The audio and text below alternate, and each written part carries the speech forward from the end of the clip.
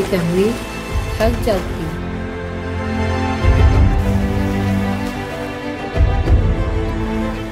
Difficult है, मगर impossible नहीं।